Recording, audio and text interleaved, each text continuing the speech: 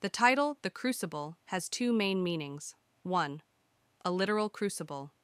A crucible is a heat resistant container used to melt metals or other substances. This meaning symbolizes the intense pressure and heat of the Salem witch trials, which tested the characters' beliefs and morals. 2.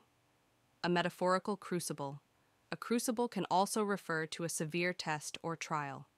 In this sense, the Salem witch trials serve as a crucible for the characters, forcing them to confront their own fears, prejudices, and the consequences of their actions.